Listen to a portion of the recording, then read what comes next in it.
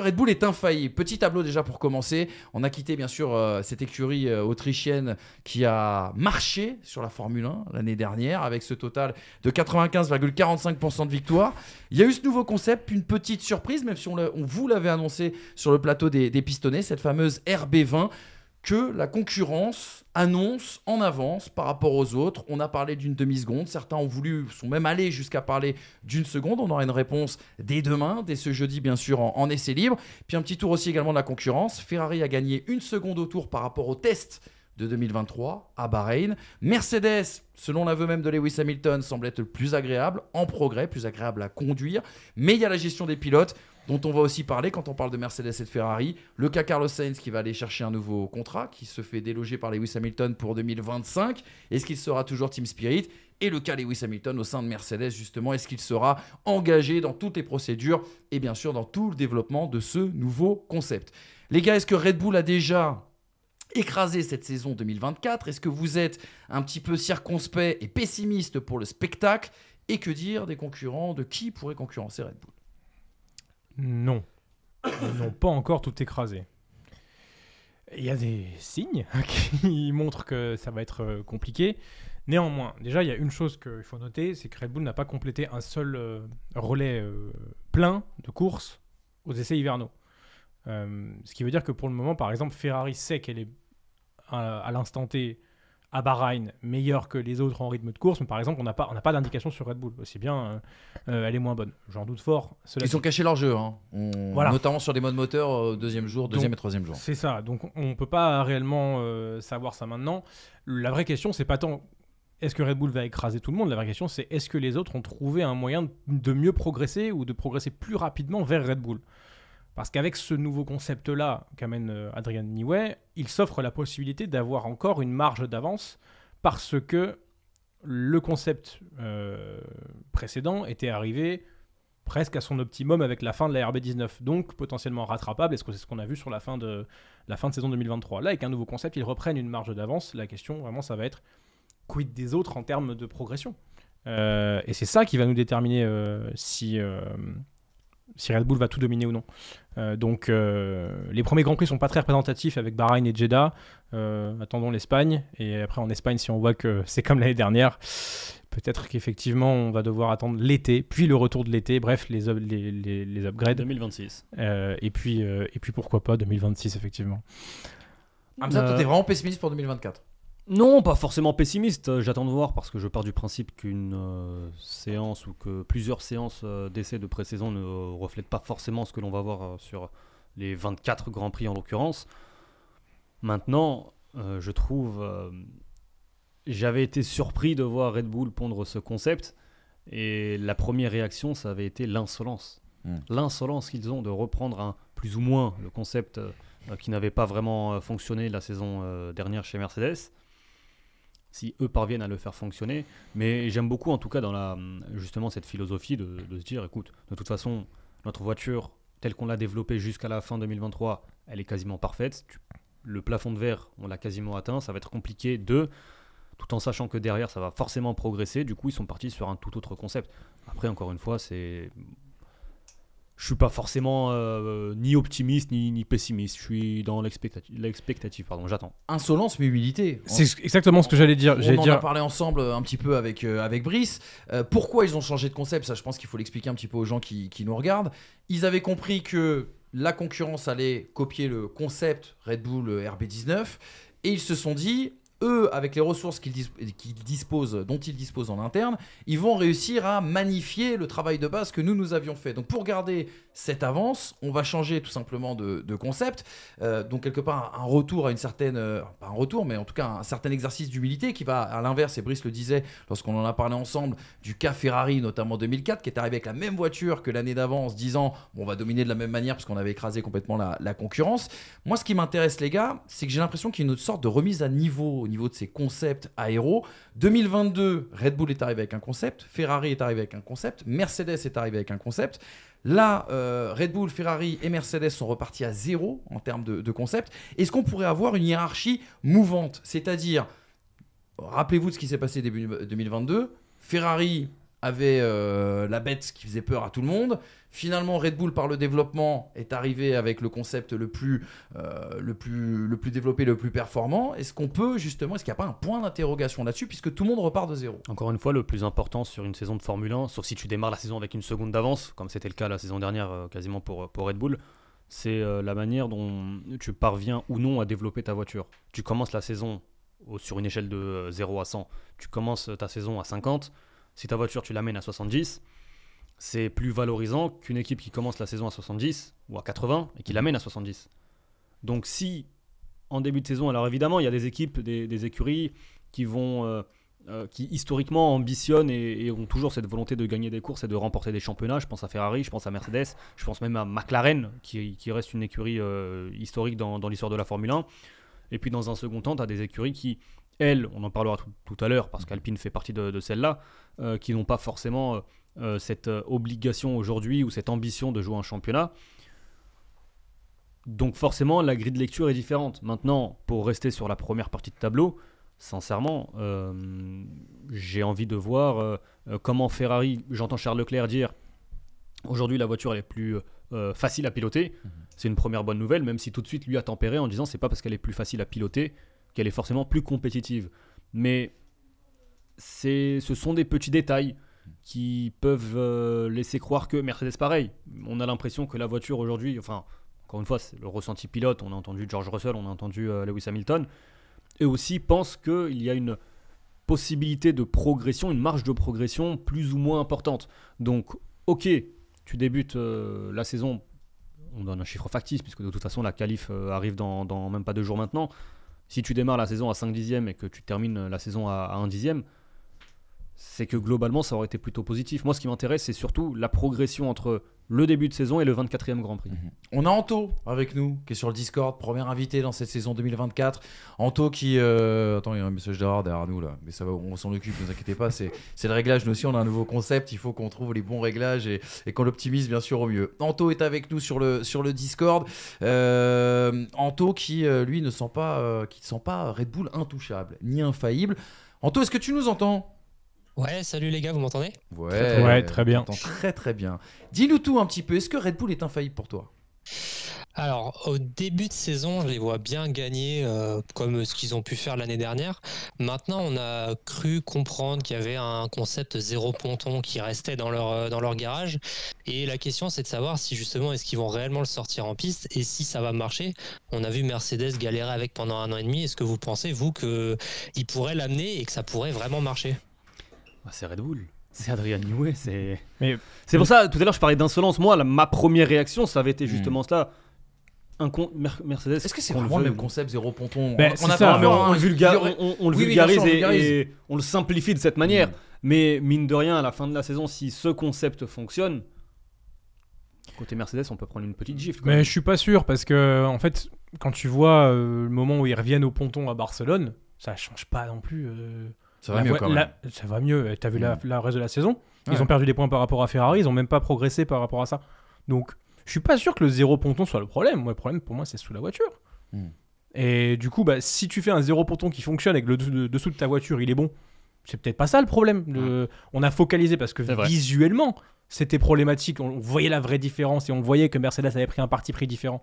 Mais si le dessous il est, il est flingué, tu peux mettre tous les pontons que tu veux et copier la Red Bull. hein. C'est dessous que ça se passe. hein. Le dessous et l'arrière aussi. Oui, donc, donc, euh, donc euh, pour moi, c'est un- presque un non-événement, ça. Le fait qu'il se fait zéro ponton. Le, le- le- le secret et la valeur d'Adrien Newey se trouvent sous la voiture, euh, à mon sens. Ce dont parle Anto aussi, c'est cette fameuse rumeur d'une d'une RB20B qui arriverait en cours de saison. On en parle du côté du, du Japon où là carrément on dit qu'il pourrait ne pas y avoir de ponton, pas d'entrée d'air, parce que ce qui est très intéressant là dans cette euh, dans cette RB20, c'est tout le travail justement d'entrée d'air, vertical, horizontal, Oui. et comment est renvoyé l'air aussi euh, au sein de ces pontons. Avec Alors, la pelle ça, à la tarte, euh, à tarte mise dessus. hein. Les, exactement. les- les photos, justement, elles sont extraordinaires. Mhm. Tu vois que Ah, fou. tout est maîtrisé. Tout est maîtrisé sur euh, la manière dont euh, l'air doit s'écouler autour de la voiture. Franchement, je... en fait, tu as l'impression que c'est une, une colorimétrie qui a été installée de manière supplémentaire sur cette voiture, que ça fait partie du décor de la voiture. Tellement les images, je pense qu'on les a tous vues passer sur les réseaux sociaux. Et j'en suis presque à me dire que Adrien Newey, en regardant la Mercedes, que ce soit la W13 ou la W14, a dû revenir dans le garage Red Bull en disant Mais les gars, c'est pas si con hein, ce qu'ils ont fait.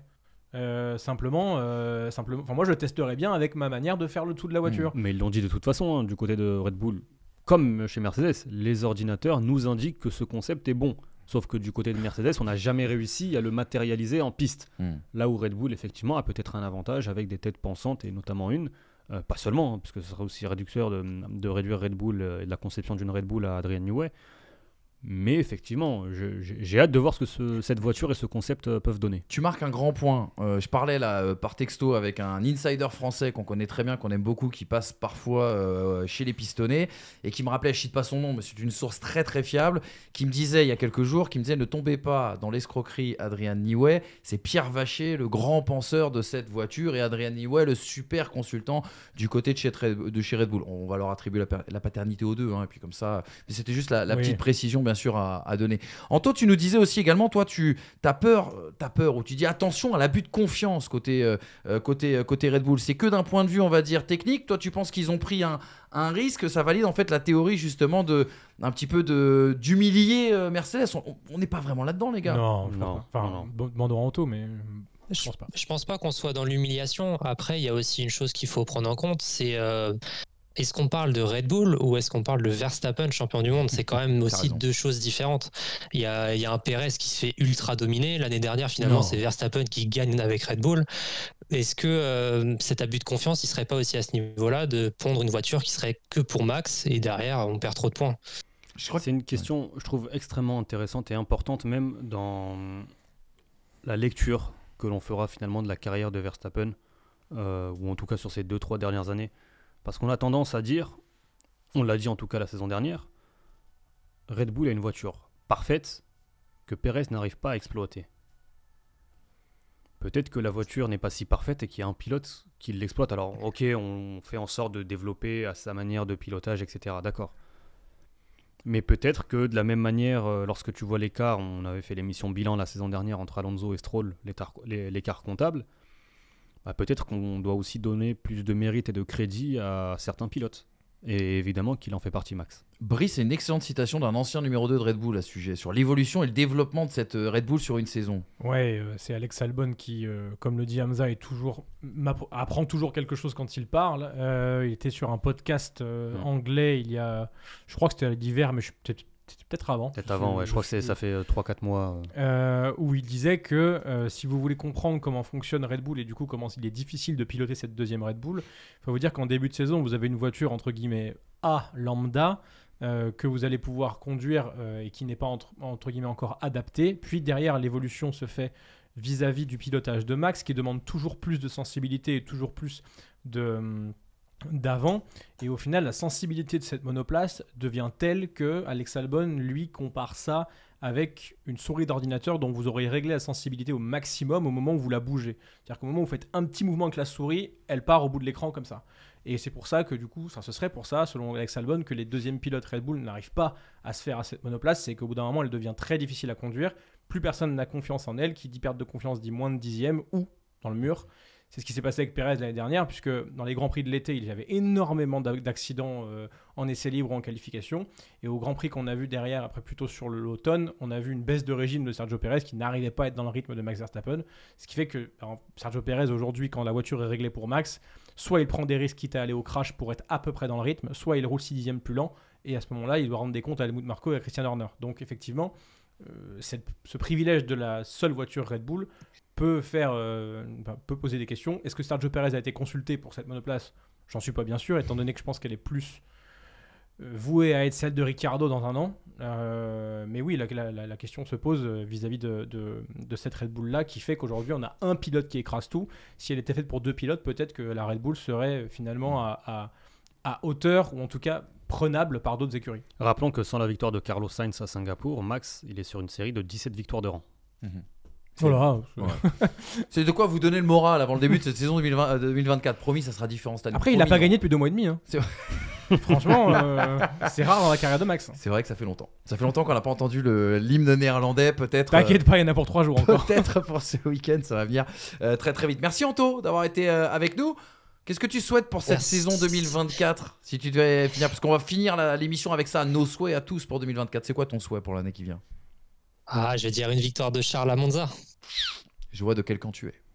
Ouais, bah, on prend nos billets à ensemble si tu veux. Moi, j'irai. euh, si, si, si tu promets ça, moi, j'y vais. hein. J'ai un garçon qui est aux anges, hein, maintenant.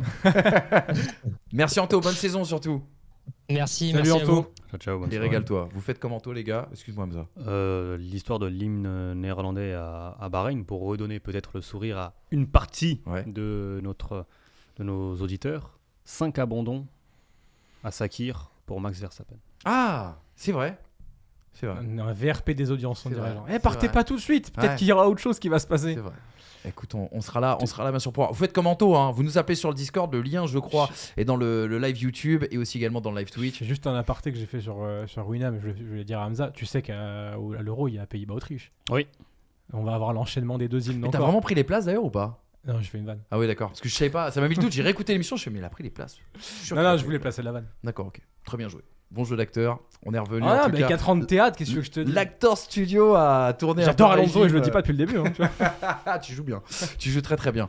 Euh, vous faites comme Anto, vous nous appelez bien sûr pour nous donner vos, vos avis. On reste toujours sur ce premier sujet. Red Bull est-il infaillible? Petite indiscrétion, les gars, aussi également qu'on n'a pas pu euh, vous partager parce qu'on n'a pas fait d'émission pendant cette intersaison. Euh, on avait un copain à nous, Lucas Parlefin, qui était invité par Red Bull à la présentation justement de cette E ERB20. Et Lucas nous a dit un truc, c'est qu'il y avait deux parties qui étaient cachées sur cette E ERB20 au moment de sa présentation.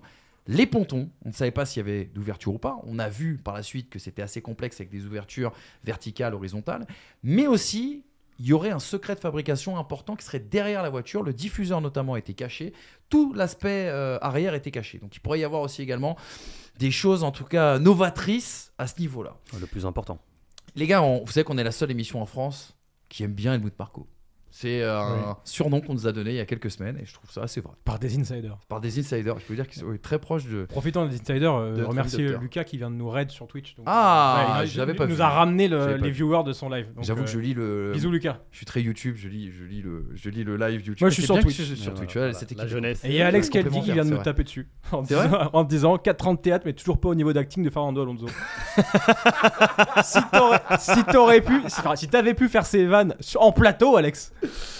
Et ben moi je la valide. Moi, moi Elle est elle, très je la trouve excellente. Elle est ouais. très, très bonne. Mais je sais pas, elle me vise donc j'aime pas. Bah, Qui Je vienne, trouve en, qui en. Discord, notre ami Alex. Ça nous rappellera des. Octogone. Alex. Le Perez non. ce soir. Pas de bagarre en 2024.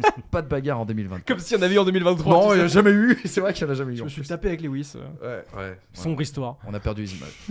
Euh, les gars, regardez cette déclaration du docteur. Le, docteur Helmut Marko qui nous parle un petit peu justement de la concurrence. Déclaration très intéressante. Ferrari devrait encore avoir des problèmes avec les pneus. McLaren dégage de la nervosité. Concernant Mercedes, je ne suis pas sûr de leur Sûr. approche. Ils sont certainement plus rapides qu'ils ne l'ont montré. Est-ce que c'est de l'intox de la part du docteur, notre éminent ami nous les pistonnés ou est-ce que ou est-ce qu'il faut trouver un semblant de vérité dans l'analyse d'Helmut Marko? Et Marco, il dit ce qu'il veut quand il veut, à n'importe quel moment. Et concrètement, euh, si t'envoies une saucisse dans les dents, euh, tu t'en rendras pas compte. Et si t'envoies une vérité, tu t'en rendras pas compte. Alors, hein. Tu sais, c'est le président de club qui dit à son entraîneur, euh, ou qui dit, en parlant de son entraîneur, euh, il a toute ma confiance, et qui deux jours après communiquait euh, Pierre, Pierre, euh, machin chouette, et euh, limogé ou relevé de ses fonctions de- d'entraîneur. Vrai. Jean-Michel Aulas, quand tu parles. Oh, oui, Ouais, Pierre le seul, Machin Chouette, c'est. Pierre Sage en fait. Ouais. hein. Pour ceux qui l'ont pas. Ah non, Ah, non, en tu plus, rigoles. pour le Va coup, rester, non, va rigole. rester. Pour le coup, non. plus. Oh, Pour le coup, non, pardon, Le excuse-moi. pep de Wish. Il y a- il y a- comme, il le dit, comme il le dit lui-même, lui hein, je me permettrai hein, pas. Revenons à 4 roues. Revenons à 4 roues, les gars. Il y a quand même quelques infos qui semblent filtrer de ces essais, de ces essais hivernaux. Red Bull donc aurait caché son jeu, notamment jour 2, jour 3. On a vu les grands sourires le premier jour qui nous, ont assez peur, il faut le dire. Du côté de chez Ferrari, tu l'as dit, la voiture semblerait plus facile à piloter, beaucoup plus facile en tout cas que lors des précédents essais hivernaux, toujours du côté de Bahreïn en 2023. Par contre, elle souffrirait, comme le dit le docteur Helmut, mais ça a été relayé par la presse italienne aussi, toujours de ces problèmes de dégradation de pneus, notamment sur les longs relais. Rapide sur un tour, on l'a vu Carlos Sainz, hein, qui a fait quand même un tour plus rapide que le tour de qualification de Max Verstappen l'année dernière. À quel niveau d'essence et quel mode moteur il avait mis, ça bien sûr on n'a pas l'information. Du côté de chez Mercedes, les observateurs insiders internationaux s'accordent à dire qu'il pourrait y avoir un rythme en course assez intéressant. Qu'est-ce que ça veut dire assez intéressant? Vous y croyez, vous, à la théorie de euh, entre une demi-seconde et une seconde d'écart en- entre Red Bull et la concurrence? Oui. Moi, je crois ce que je verrai euh, en qualif. aux essais de Bahreïn et pas encore. Oui, oui. Non, non, mais même, même sur les essais, il y en a qui pourraient encore euh, essayer de cacher leur jeu, notamment les meilleurs. Donc euh, voilà, je pense qu'à partir des qualifs, à partir du premier Grand Prix, on aura forcément une euh, première, une première lecture euh, de, de l'extérieur. Je trouve qu'il est extrêmement compliqué. Je pense que même au sein même des écuries, il est euh, très compliqué, pour ne pas dire impossible, de- d'essayer d'analyser, de comprendre ce qui se passe chez le rival, chez l'adversaire, chez le voisin de garage. Moi, je ne m'aventurerai pas sur, ce, sur cet aspect. Ferrari, ils savent quand même où ils Eux, je que tout le monde sait. sont. Je pense que tout le monde sait euh, où il en est par rapport à la saison précédente, mais par rapport à la concurrence, Mhm. je suis pas sûr que Ferrari sache aujourd'hui où ils en sont par rapport à Red Bull, par rapport Non, à mais- Mercedes, par rapport à McLaren, par Bah, rapport à bah, Aston ça, ils Martin. le disent eux-mêmes. Enfin, euh, ils, ils le disent eux-mêmes. Red Bull, ils savent pas parce qu'il n'y a pas de relais plein de courses. Par contre, par rapport aux autres, ils savent. En tout cas, ils pensent savoir vis-à-vis des. Bah, quand tu fais. En fait, le- le- la, seule, la seule chose que tu peux analyser en, en, en essai hivernaux, c'est quand tu fais 55 tours de suite. Puisque c'est-à-dire que tu as le plein. Donc 55 tours de suite avec un certain pneumatique donné. Si tu fais toi aussi 55 tours de suite avec un pneumatique donné, Mais quel mode moteur, par exemple? Oui, Parmi les nombreux exemples. Avec quelle configuration aéro mais- Avec quel... Mais normalement, avec le plein, tu sais à peu près où tu te situes. Donc, je pense que Ferrari À, sait à ils- 5 dixièmes d'écart, c'est ça qui est compliqué. En fait, il y a un delta, ce qu'a dit James Walsh euh, sur le micro, au micro de Canal, c'est que tu as toujours 5 dixièmes de. C'est énorme, 5 dixièmes, tu vois, comme delta d'erreur pour euh, définir le Ah, rythme ça- de chacun. Aujourd'hui, en Formule 1, 5 dixièmes, c'est euh, entre la 3 et la 20e place concrètement, Exactement. Ouais. sur une séance de qualif. Oui, en qualif, ouais, en course, euh, c'est pas le cas. Non, non, je prenais, je prenais la séance de qualif pour. euh, voilà, compliqué de- d'établir aujourd'hui je une, hiérarchie, tout ce que tu peux légitimement euh, pouvoir dire sans perdre ta crédibilité. Oui, bah, tu as un groupe avec Red Bull, euh, tu as un deuxième groupe avec euh, Red Bull, Mercedes, McLaren, Aston. On ne sait pas s'ils sont dans ce groupe Oui. ou légèrement en retrait. Aston, on entend tout et n'importe quoi d'ailleurs. On nous dit que euh, les, les médias britanniques ont dit ou le langage corporel de Fernando Alonso traduit que Aston n'est pas bien. Euh, Il y a eu aussi le langage politique de Fernando Alonso Voilà. aussi. Oui, c'est vrai. Il, va, il, paraît qu'il va arrêter sa carrière. T'as entendu ça? Ouais, ouais. On n'en parlera pas. Ça sera, dans Stay les souhaits. tuned. ça sera dans tes souhaits 2024, hein, je rappelle. Je, je À la pris, fin de cette je l'ai émission. pris premier degré Ouais, de je fou. Et j'étais là en mode Ah bon, j'ai dit ça moi hier soir en con Il était 1h du matin, j'ai oublié ou C'est vrai qu'on a fait la, on a fait la, on a fait la, la réunion assez tard. Les gars, on a, on a un suiveur de Mercedes qui est avec nous. Je crois qu'il y a Tibbs. Non, Ferrari, pardon. Ouais, c'est pas grave, c'est pas grave, mon top, t'inquiète. Euh, Tibbs, Tibbs qui est avec nous, un Ferrarista. Ça va vous faire plaisir. Salut Tibbs. Salut, salut, Salut. l'équipe. on sent, on sent les antidépresseurs. Il, est, il, est, il, est, il est sous médicaments pour aller bien. Non, justement, on est, on est, on est Là, on avant la saison. Là, on est tous heureux. Au, au mois de février, c'est le meilleur moment de Ah la oui, saison. c'est vrai, pardon, j'oublie. Tu lis la Gazzetta, t'attends oui. une seconde demi au tour. euh, T'as tout le monde qui te dit c'est la meilleure Ferrari depuis 25 ans. Et puis au 44e tour du Grand Prix de Bahreïn, non, non, non. C'est quoi l'état d'esprit, Tibbs, là, un petit peu sur, Ferrari? J'imagine que tu te renseignes sur l'actualité de l'écurie. Tu as lu les, mêmes choses que nous. Ou- Comment tu les sens? Où est-ce que tu les situes? Moi, je les situe euh, bien, c'est-à-dire que contrairement à Red Bull ou à Mercedes, euh, eux, ils ont tracé leur chemin sans regarder à côté. Euh, donc ça, bon, ben, c'est du Vasseur, quoi. C'est là où j'en suis le plus, plus, le plus confiant, c'est-à-dire que euh, on sent qu'il y a eu des changements dans l'équipe, l'ambiance euh, apparemment va mieux. Et puis après, niveau performance, bon, ben, visiblement, cette Ferrari va mieux. Donc ça, ça me donne de l'espoir. Et euh, comme je disais avant de la prise d'antenne, euh, ben, disons que si la, Ferrari est aussi rapide en qualif que l'année dernière, donc Charles devrait arriver à faire encore des pôles. Si on part devant avec une voiture qui est plus facile à manier, peut-être que justement il arrivera à rester devant Max. Et en tout cas, je vois bien un remake de 2022 avec cette bataille euh, Charles-Max. Après, bon, c'est vrai que la, la RB20 elle fait peur, mais je sais pas, je me dis qu'en plus pour Charles, avant l'arrivée d'Hamilton, il faut vraiment qu'il marque le, pas. Euh, donc euh, peut-être que c'est son année, quoi. Alors là, les gars, Tibbs, il a, il a levé plein de, plein de sujets, c'est super intéressant. Moi, la première chose que Tibbs, que j'ai retenu de ce que tu as dit, c'est l'ambiance a l'air d'être revenue au beau fixe avec Frédéric Ferret. Il va falloir parler du Vasseur, cas Carlos Vasseur, Sainz. Vasseur, Euh, pas encore. Oh, Peut-être bientôt. On lui souhaite. tellement, Fred, que c'est ça. Il y a, Euh, il y a Fred un Vasseur. élément extrêmement important euh, concernant le- le- l'ambiance et qui a soulevé euh, Chips en partie. On sait que chez Ferrari, historiquement, c'est une équipe poreuse. Bordel. C'est une équipe qui parle avec des gens en inside qui parle à droite, qui parle à gauche, quand ça va, quand ça va pas. Là, Frédéric Vasseur, en l'espace de 12 mois, il a eu le mérite de sécuriser tout l'aspect communication. Hamilton, qui signe chez Ferrari sans avoir la moindre fuite Mm. provenant d'Italie, Euh, c'est de l'ordre de l'inédit. Il paraît que la en fuite a était eu. à Brackley. La fuite, la fuite, paraît-il, elle vient de Toto Wolff. Euh, et et- et Ouais. qui, qui a sorti l'info? C'est Sky, Ouais. Angleterre. C'est vrai, t'as raison. C'est pas Sky attends, Italia. vrai, En, en octobre, il y avait déjà des bruits. hein. C'est-à-dire que euh, faut pas non plus oublier que cet été, ça a fait du remous. T'avais Formula 1 Et en aussi. octobre, ça a refait du remous. Ça a refait du remous. En attendant, il y a eu une prolongation de contrat pour Lewis Hamilton. Et à partir du moment où il y a eu cette prolongation, tu te dis à aucun moment, fin janvier, Hamilton s'engage chez Ferrari. Mm. Donc, je ne sais pas quand ont eu lieu les négociations. Est-ce que c'était euh, dès l'été dernier? Est-ce que euh, après la prolongation, avant la prolongation, il y avait déjà un accord tacite? J'en sais rien. Tout ce que je dis, c'est que le plus gros transfert de l'histoire de la Formule 1, personne chez Ferrari et personne en Italie n'a fait fuiter cette information. Et ça, c'est déjà une première victoire, justement dans cet aspect ambiance, Mhm. dans cet aspect. Enfin, Com- excuse-moi, vas-y. Non, non, mais dans cet aspect communication, dans cet aspect vivre ensemble. Il y en a un qui peut gâcher l'ambiance, c'est Carlos Sainz, les gars. Il a pas de contrat pour 2025. Est-ce qu'il va jouer son Vatou? Est-ce qu'il va la jouer solitaire? Est-ce qu'il va être Team Spirit? Est-ce qu'il peut être le loup dans la bergerie? Euh, Moi, ce que, ce que Tibbs a dit et qui était très intéressant, et on va aussi rebondir en même temps là-dessus, c'est la situation de Leclerc. Il va falloir qu'il marque, euh, marque son empreinte sur l'écurie, sur marque, Sainz. et surtout qu'il ouais, marche sur Sainz et qu'il montre son leadership avant l'arrivée du de la légende Lewis Hamilton. Ah, il joue très gros, Hamil- euh, Leclerc. Je Hein pense qu'il joue très très gros. Ah sur oui, oui, cette saison, oui. Donc, euh, Ben, C'est-à-dire qu'il va, il va quand même falloir euh, convertir tout ce qu'il peut convertir, euh, ne pas laisser le doute s'emparer de lui, parce que Carlos Sainz, concrètement, il va rien avoir à perdre, et des Silverstone 2022, il va en faire, je pense.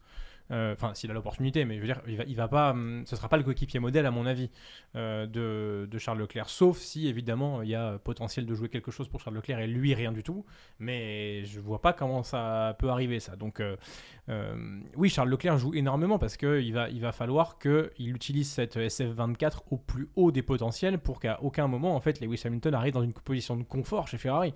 S'il arrive dans une position de confort chez Ferrari et que Charles Leclerc lui-même a des doutes après la saison 2024, euh, c'est pas du tout la meilleure manière de commencer une collaboration. Il a commencé la collaboration avec Sébastien Vettel sur, euh, sur euh, juste une signature chez Ferrari, une excellente année chez Sauber. Et euh, à ce moment-là, effectivement, le plein de confiance avait fait que il avait pu pas dominer, mais en tout cas être au niveau de Sébastien Vettel dès la première année. Là, si Carlos Sainz lui met encore des bâtons dans les roues au niveau du championnat, ça peut effectivement, effectivement peser sur Leclerc. Johan nous dit sur le, sur le chat, euh, sur, euh, sur YouTube, euh, Sainz, s'il est malin, il va tout donner cette année. Je pense qu'il est malin, je pense qu'il va tout donner cette année. Cyril nous dit, tant qu'il n'y a pas de contrat, Sainz sera... Attends, ne sera pas un problème. Tant qu'il n'a pas, euh, De toute façon, il est obligé de, de- d'être performant, Sainz, oui. parce que s'il veut vraiment un bon baquet pour l'année prochaine, prouver à, on va dire, Audi ou euh, après, après, il y a tellement de rumeurs. Tu voulais dire avec, Alpine, euh, mais tu t'es retenu sur les bons baquets. Hein, Tibbs Bon, Je dis, tu, tu voulais dire Alpine, tu voulais dire Audi, voire Alpine, mais tu parlais des bons baquets, donc tu t'es vite ravisé, c'est ça? Euh, non, non, j'ai pas parlé d'Alpine, non. Non, non, Donc ça veut dire que le tir était gratuit de la part de Manu Moine. Voilà. Excuse-moi, je voulais te le faire passer pour toi, mais c'est pour moi. Excuse-moi, Tibbs, je t'ai coupé du coup. Après, euh, sur euh, la, la rivalité Charles-Sainz, euh, mine de rien, Sainz, il- s'il est euh, dans les roues de, de- de Charles l'année dernière au niveau comptable, au niveau classement, c'est aussi que Charles a encore eu une année un peu noire euh, niveau abandon, niveau erreur. Donc, euh, est-ce que Sainz, à part la victoire à Singapour, euh, est-ce qu'il a vraiment fait une très bonne saison? Euh, Je suis pas, je suis pas convaincu, quoi. Ouais, mais c'est la deuxième sur quatre hein, où ça arrive. 2021, c'est la même chose. Donc, euh, tu vois, à la fin de l'année, euh, Sainz il finit devant Leclerc au classement.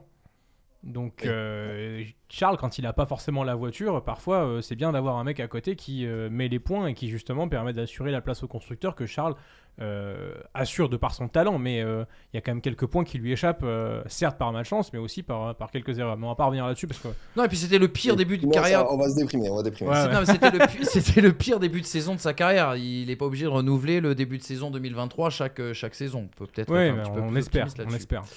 Super, euh, les gars, euh, quelque chose à, quelque chose à, à rajouter Est-ce que est-ce que tu as un souhait, Tips, pour 2024 Bah si, je l'ai compris, je l'ai entendu. C'était une victoire de Charles Leclerc. Ah bah oui, Ouais. c'est sûr, la, la- la victoire de, de Charles, euh, le succès pour Vasseur, euh, voilà. Tout ce qui est rouge et doit marcher, euh, quoi. Sainz performant pour développer la voiture et puis, euh, et puis euh, le titre constructeur, même si ça, j'y crois pas du tout, mais euh, on sait, on sait jamais. Après, euh, faut, faut y croire, hein, ça fait tellement d'années qu'on y croit, donc euh, J'avais on 14 ans. arrête maintenant.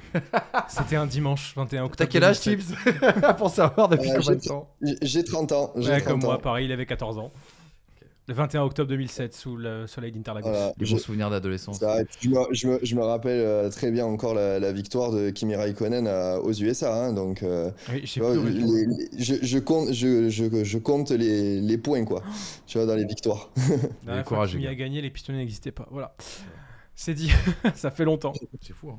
Ouais. Et je regarde les pistonnets depuis le, le début. Donc, euh, je suis assidu, les gars. Eh ben, merci pour Donc, merci pour- une gommette, merci. merci. Et puis surtout, bonne saison 2024. Reste bien sûr connecté et, et- et tu reviendras bien sûr dans une prochaine euh, radio libre parce que les libres antennes comme ça, on va en faire quelques-unes aussi également dans, dans l'année. Donc comme ça, on va se, se régaler. On a parlé de Mercedes. Eh euh, ben, on a- super. Ciao, Tips. Merci, les gars. Ciao, ciao, bonne soirée. Ciao. Ferrari. On est d'accord. Tu sais qu'il y en a deux qui se sont retenus. Tu sais qui étaient partis pour le dire aussi, mais oh, Non. neutralité totale. Sors le drapeau italien. dans allez, ce- c'est bon. ouais, il est là sur le cœur poche intérieure. Mais le truc, c'est que lui, il est fan de Ferrari, mais enfin, tu te souviens quand même du Grand Prix de France? Dans, la- dans, dans la, dans la loge. mexicain ce. Dans la, loge, dans la loge, il était comme ça, au-dessus de la rambarde, à hurler Vamos Checo Andiamo all'Americo T'es- c'est- c'est quoi T'es ferrarista ou quoi, toi? On est ici. Je te dis que les mecs, les mecs étaient beaucoup monde. plus calmes à, à Mexico euh, sur, le, sur, sur le circuit des Hermanos Ah oui, oui, oui, Rodriguez, les, euh, les- cette les année. Mexicains sont plus calmes comme ça. beaucoup hein. plus calme. Les gars, on a parlé de Ferrari, parlons un petit peu de Mercedes. Quand on parle de Mercedes, on a un expert qui vient nous rejoindre, Malik bien sûr du, du compte. Mercedes euh, fan FR, je sais plus c'est dans quel ordre et je crois que je le dis mal, mais c'est le meilleur compte à suivre quand on parle et on, aime Mercedes bien sûr. Comme les Twitter. pilotes Mercedes chez Netflix, Oui, ils n'arrivent pas, ils arrivent pas à tout mettre dans l'ordre. C'est exactement. Petronas, AMG, SFR, je sais pas quoi. Comment ça va mon ami? Ça va tranquillement et vous, bien le bonsoir. Ça va, Malik? Ça va? Hello. Ça va, ça va. Bon, eh, t'as eu une intersaison quand même bien chargée. hein. Départ de Lewis Hamilton. Je vais pas dire départ Ouais, de Michael Elliott, parce qu'il est parti depuis Du longtemps. jour au lendemain, comme ça. Voilà, départ de Lewis Hamilton. L'arrivée ouais. de cette W15 qui nourrit beaucoup d'espoir, les premiers roulages, les premiers retours. C'est quoi, toi, ton avis sur la situation de Mercedes? Toi qui collectes beaucoup d'infos hein, sur à peu près tous les médias internationaux pour essayer d'informer les fans de Mercedes sur la situation de leur équipe. Je tiens à le préciser. J'essaye de me tenir un peu formé un peu partout. Ouais. Ouais, il y a même des, des- des petites infos qui viennent directement de chez Mercedes que je ne sors pas forcément tout le temps. Ok. Mais peux nous les dire, ça. ouais, la, Mer- bon, déjà, la Mercedes, la W15 me hype un peu plus que les deux dernières, on va pas se mentir. Il y a un peu plus d'espoir. Après, comme je dis souvent, on part de tellement loin que ça va être difficile de faire pire. Tu sens que le mec est habitué au succès quand même. L'objectif- Tellement loin, c'est troisième. On va pas se mentir, quand on a roulé sur la catégorie pendant pas mal d'années, les deux dernières années, elles font mal, quoi. T'inquiète, on peut t'inviter à un club. Nous, ça fait 15 ans qu'on vit ça. Donc si tu veux. bon, en fait, c'est nous en 2010, quoi. Y a pas de souci. Pardon, je t'ai coupé, excuse-moi. Non, mais en 2008, je crois que le dernier de Ferrari, je devais avoir peut-être 13 ans. Ouais, ça remonte. J'en ai 29 aujourd'hui. Voilà. Une génération sacrifiée, c'est Ouais, comme ça qu'on vraiment, appelle un- fan de Ferrari qui a moins de 30 ans.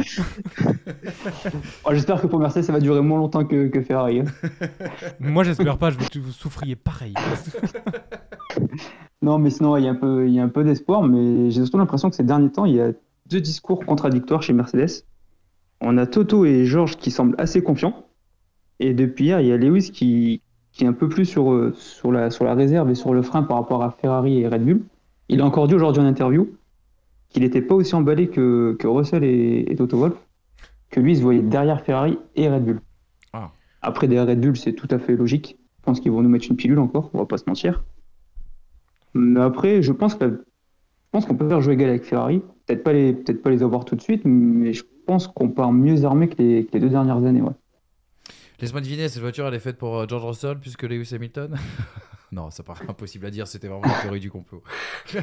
Les gars, votre, avis- votre avis sur ce, que, sur ce que Malik vient de, vient de dire, est-ce que euh, est-ce qu'on peut penser un peu d'intox de la part de Lewis Hamilton avant les premiers essais demain? laisser Hamza réagir. J'ai pas entendu ce que Malik a dit. Malik dit... Euh, oreillette a mal fonctionné. Concernant. Ouais, honnêtement, moi, j'ai. C'est pareil. La communication de d'Hamilton, tout à l'heure on parlait un peu d'Helmut Marco, alors on va peut-être pas aller dans ces proportions, mais il n'y a pas besoin toujours de croire, euh, tout ce qui sort euh, de, la bouche de beaucoup de monde, hein, de toute façon, dans le, euh, dans le microcosme euh, Formule 1. Euh, évidemment que j'attends beaucoup de Mercedes sur cette saison. Évidemment que. en fait, ce qui me gêne avec cette équipe, on a, déjà eu ce, débat de nombreuses et, multiples reprises, c'est le, développement et la manière de développer cette, cette voiture et de ne pas faire. de ne pas prendre suffisamment en considération le ressenti des pilotes. Donc là, justement, j'ai, comme je le disais tout à l'heure, Russell et Hamilton semblent euh, plus ou moins quand même euh, satisfaits, peut-être plus que sur les, précédentes, les deux précédentes saisons. Maintenant, euh, ça va être une vraie saison de transition pour Mercedes dans le sens où euh, il y a quand même un pilote euh, euh, installé depuis euh, une décennie. On Ouais. est quoi, 2024 Oui, une ça. décennie euh, chez, chez Mercedes qui va laisser sa place. Ça va aussi être le moment pour euh, George Russell de s'affirmer. Euh, je suis le premier à, à louer justement cet aspect euh, proactif de la stratégie, cette place qu'il est en train de prendre petit à petit dans la communication. Là, c'est l'opportunité aussi de s'affirmer et de prendre euh, le leadership parce qu'aujourd'hui, on ne connaît pas le prochain pilote Mercedes. On ne connaît pas quelle est la stratégie aussi, tout simplement. Est-ce que tu pars sur un Alonso un an? Est-ce que tu Hmm. pars sur un Antonelli? Mais Antonelli, de toute façon, quoi qu'il arrive, il faudra lui laisser le temps de jeune, performer. C'est trop jeune. Non, Vous l'imaginez à je- 17 ans non. chez Mercedes? Moi, j'ai vraiment du mal. Moi, je aussi, n'exclus bah, rien. pour moi. Je, Ah bon? je, je n'exclus rien, mais de toute façon, pour ne pas Il faut la exclure mettre au point, Antonelli, cette euh, voiture aussi. Ouais, puis de la part d'un Wolf qui a laissé 4 ans Russell chez Williams, Ah oui, je vois quel message Ouais, Ouais, c'est peut-être une erreur. Peut-être qu'il s'est rendu compte de son erreur. C'était une Parce erreur? que, Ah, à mes tu veux yeux- dire de pas assez yeux- préparer la, la, la à mes- suite À mes Euh, yeux, c'était une erreur. Alex Caldi de- qui veut dire quelque chose sur George Russell. Non, mais à, mes yeux, c'était une, erreur de laisser euh, euh, George Russell aussi longtemps sur la touche pour privilégier Bottas parce que tu avais la stabilité du résultat. Sauf que le jour où tu devais avoir besoin de, avais besoin de ton numéro 2, bah, le, le numéro 2 n'était pas là. Donc, euh, est-ce Ah, qu'il a envie de renouveler les mêmes horaires? Et puis, il y a une, une déclaration que j'ai vue aujourd'hui. Alors, peut-être un peu facile de la part de Toto Wolff qui euh, peut-être réécrit l'histoire à, à son avantage, mais qui sous-entend en gros que euh, je pouvais pas me euh, garder Hamilton sur deux ou trois ans parce que derrière il y a Antonelli, on a laissé passer Verstappen euh, en- il y a- une- une- plus d'une décennie maintenant et on pouvait pas refaire la même erreur. Ouais, enfin, tu peux pas tout avoir Bon. non plus. Hein. T'as Hamilton. euh, tu oui, mais c'est pour ça, c'est pour ça qu'à partir du moment où aujourd'hui tu as pris la décision, non, c'est pas toi qui as pris la décision, mais tu vois Hamilton partir. Je pense que euh, Antonelli, tu peux pas l'exclure. Après, peut-être qu'après euh, une demi-saison et allez, 7 ou 8 courses en F2, on comprendra qu'il n'est pas tout simplement pas prêt pour la F1. Donc ça va libérer une place. Et à ce moment-là, tu auras Mais tu sais une que dizaine de pilotes qui peuvent euh, prétendre. Mais on connaît pas en tout cas la Oui, stratégie. mais en tout cas, c'est une saison très importante pour Russell. Moi, moi, moi, on va en parler tout à l'heure dans les souhaits 2024, mais je crois vraiment à la théorie Fernando Alonso chez Mercedes. hein. parce qu'à un moment donné, il va falloir développer ces voitures. Si tu mets Antonelli à côté de George Russell, ça signifierait que Mercedes poursuit dans sa culture du développement jusqu'à présent. C'est-à-dire, on regarde les ordinateurs, on n'écoute pas beaucoup les, on n'écoute pas beaucoup les pilotes. Mais quel message t'envoies à Russell? En mettant Fernando Alonso, son ami, là, un garçon d'expérience qui a déjà son, gagné. Son- deux. son ami qui broie partout où il passe? Non, mais son, son ami le 31 décembre au, au soir, et en effet, tu as raison, sur une piste, c'est tout à fait différent. Mais moi, je crois beaucoup à cette théorie qui avait été développée dans les pistonnés par Eric Bouillet et aussi par Frédéric Vasseur, lorsque vous l'avez vu en interview, euh, qui est de dire à un moment donné, il faut, on va, on- il faut qu'on. Dans l'association d'un- du line-up parfait, il faut deux pilotes qui sont à un niveau de vécu différent dans leur, euh, dans leur carrière. Un jeune qui euh, n'avait pas champion du monde et un ancien Mais qui l'a déjà été. Et on ne connaît pas le plan. Mais on connaît pas le plan, je suis d'accord Parce que toi. Esteban Ocon, moi, je peux jamais de la vie, je vais l'exclure. Euh, Justement, Ocon, on nous demandait- Si tu fais un top 3, Ocon, il est dans le top 3, il est peut-être même pas troisième. Eric, Eric nous dit, Eric Roche nous dit, mais arrêtez, vous oubliez Ocon. Euh, Le problème, Non, c'est que personne ne l'oublie. Mais il y a Personne une ne l'oublie. dizaine de candidats et Complètement. certains plus crédibles que d'autres. Et Ocon, pour moi, fait partie des plus crédibles.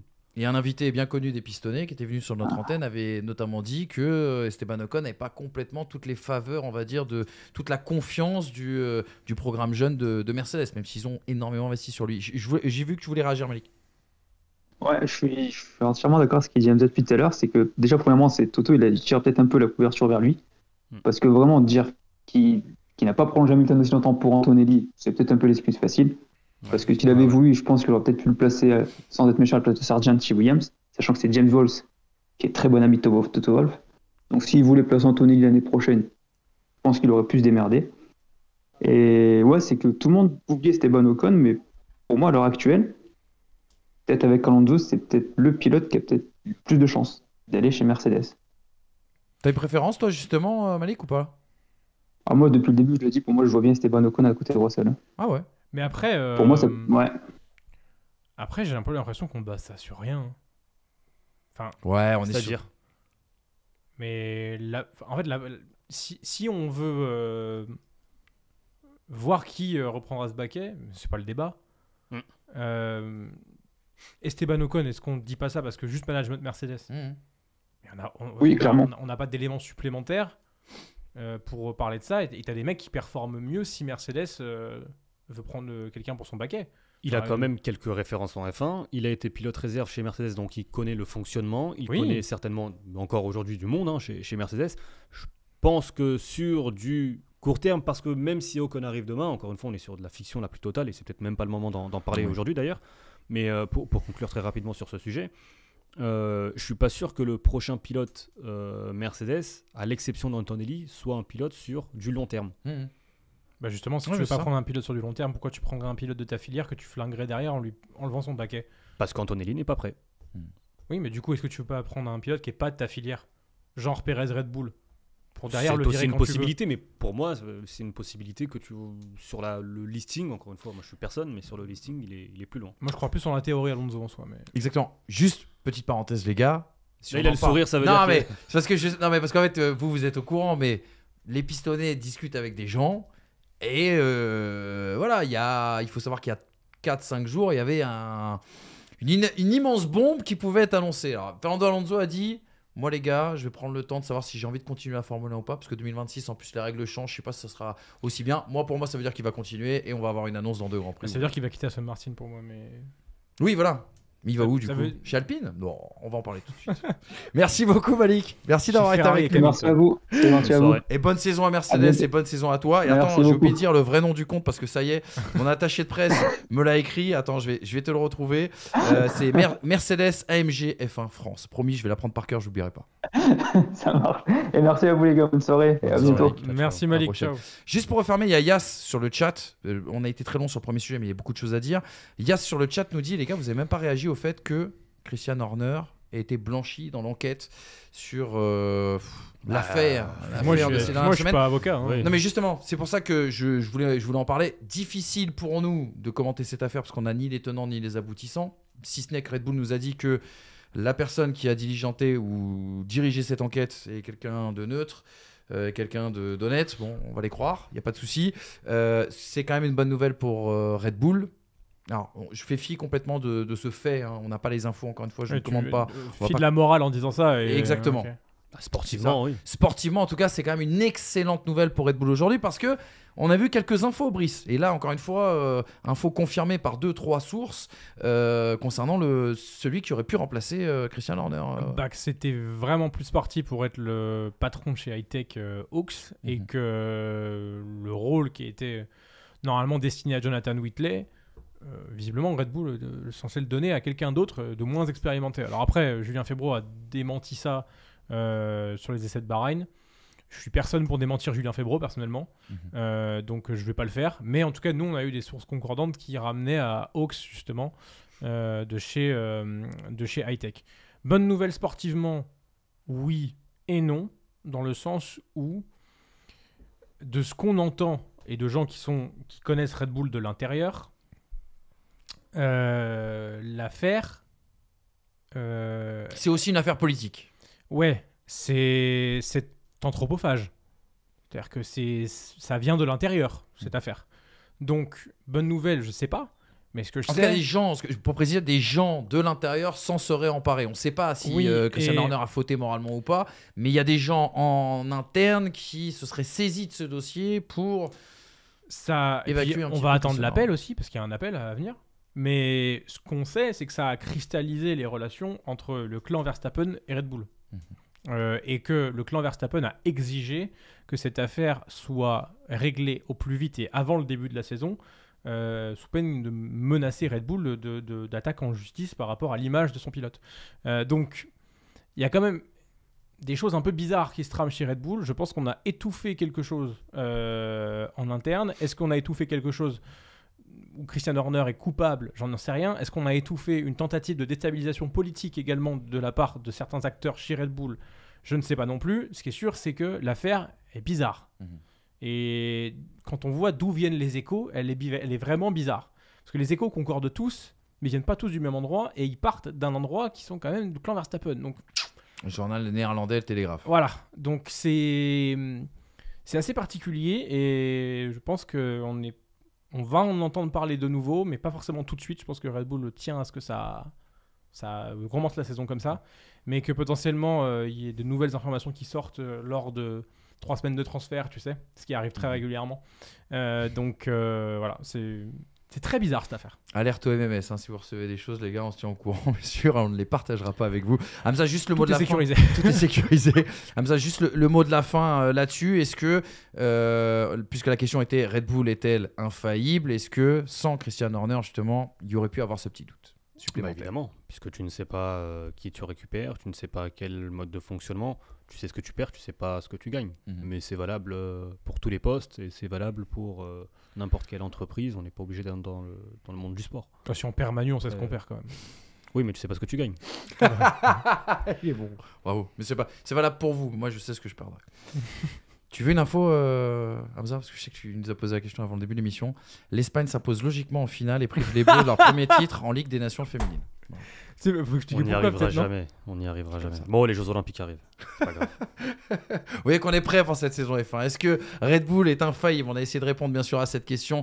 La seule réponse qui nous attend maintenant, c'est les essais, les qualifications, la course aussi dès le demain, puis, purée. On va voir un petit peu le développement aussi également que ça va donner tout au long de cette saison. On sera là pour le suivre et on sera là pour le commenter. Toi qui aimes le sport, tu sais que depuis longtemps, tu peux utiliser tes connaissances pour gagner de l'oseille. Si tu aimes les courses automobiles et la Formule 1, ça se passe chez les copains de Winamax. En collaboration avec Wina, nous avons cette offre de bienvenue avec le code FT10 et le lien en description. Lors de ton premier dépôt, tu es automatiquement remboursé jusqu'à hauteur de 100 euros et on t'ajoute même 10 balles en bonus. Et comme toujours, c'est strictement interdit aux moins de 18 ans et surtout, c'est pour s'amuser. Allez, bonne chance mon ami.